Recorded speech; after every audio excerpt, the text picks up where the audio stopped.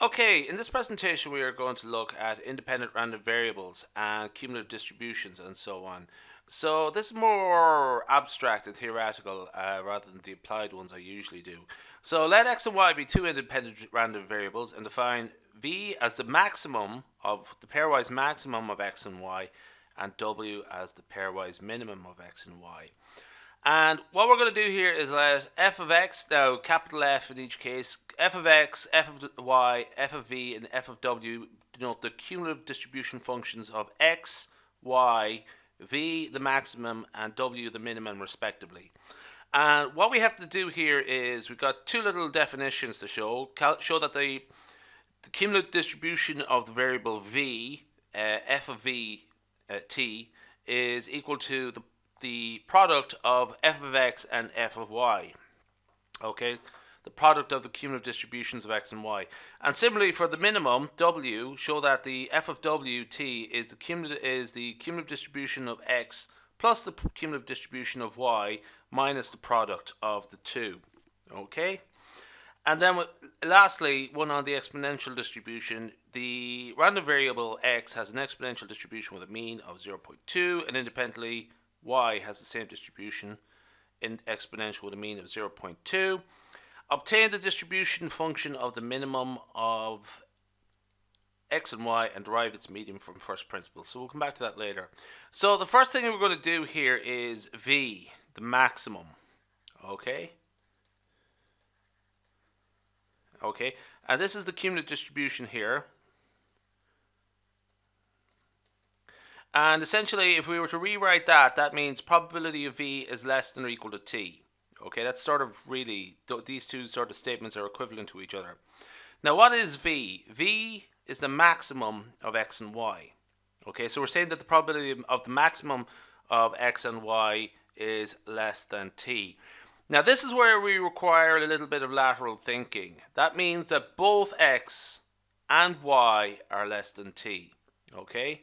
Less than or equal to t actually I should say. The less than or equal to is important actually in this case. So essentially what we're able to do is restate this as two independent events, okay, or the, the two separate events. The probability of x less than t and the probability of y less than t, less than or equal to t, okay? So essentially this is the, the, the guile, this is the trick. Being able to restate this statement here as that statement there. And it's completely correct when you think about it, okay? But essentially, once we get that, we've really done the job, okay? That's the thing, uh, the sort of being able to sort of realize that. So essentially, what we have here is x and y are independent. So we are able to sort of state this as two independent events. This is the uh, uh, using the independent event rule. Probability of a and B, if they're independent events, it's of A times the probability of B, just using first principles. That means probability X less than or equal to T times the probability of Y less than or equal to T, which is exactly what we're looking for. The cumulative distributions of X times the cumulative distributions of Y. Okay? So something like this actually looks like fairly tough stuff, but actually once you sort of recognize that little trick that we use, it's very easy. And we're going to do the same thing here now with the minimum. And really, we're doing the, we're approaching the question the same way.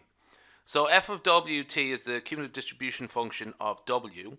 And that's essentially saying that the probability of w less than or equal to t. Okay? So we have to be a little bit more, you know, it's a little more, more complicated in this case. Okay? So what that is, that's the complement of uh, the minimum being greater than t. Okay, the minimum of x and y being greater than t. That's complement to that, complement rule. Now, so that is, again, using the, the same approach that we did the last time, the minimum of x and y being greater than t can be expressed as x greater than t and y greater than t. Okay? So what we have here is 1 minus probability probability of x greater than t and the probability of y greater than t. And again, as these are independent events, we can re-express this as follows. Okay? Probability of x greater than t times the probability of y greater than t. Now, again, what we can do here is use the express those as the complements, or in terms of their complements, 1 minus uh, probability of x less than or equal to t, 1 minus probability of y less than or equal to t. Okay? So essentially what we want to do, really what we want to do is start bringing f of x into it and f of y into it. Okay? So what we have here is a very complicated looking expression. Okay? But we can rearrange it algebraically very quickly. Okay? So essentially if you work that out, essentially you would get f of x t plus f of y t minus the product of the two. Okay? So it's a little bit more complicated than the last time, so it just a little requires a little bit of extra lateral thinking. But really, it's not so bad. It's uh, it, it progresses very quickly once you know. Uh, remember this bit here, and then just using the complements. And remember, we want to get things expressed in terms of f of x and f of y at the end. So that's why it was useful to go in this direction here.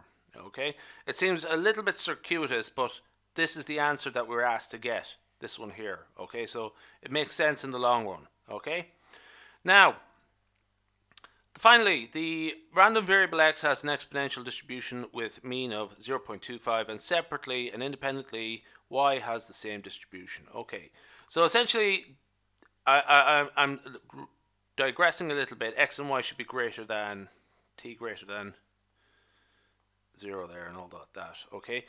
So the parameter, the rate parameter in both cases is 4, okay? And therefore, well, you can actually t over mu if you want, which is t divided by 0.25, if you're familiar with that. t divided by 0.25, but that will give you 4t as well, just in case you're not familiar with that notation. Anyway, so in brief, I should there, there are a couple of things you could sort of clarify there. But in brief, this is what we're given here. Okay, f of x of f of x of t, f of y of t equal both equal to one minus e to the minus 4t. So using the formula that we have used above, this is x, f of x, this is f of y, and this is f of x times f of y, which is because they're the same, really what we get is a squaring there, okay? So that's why it's squared here, okay? So this resolves itself quite quickly arithmetically. So the first two terms can be bunched in there. And essentially what we have to do is work this out, factorize this out, okay? Or uh, express it, uh, multiply it out, I should say, okay? And really stuff starts to cancel out fairly quickly and what we end up with there is 1 minus e to the 1 minus e to the minus 8t. So this is the cumulative distribution function of the exponential random variable with parameter lambda equals 8. Okay. So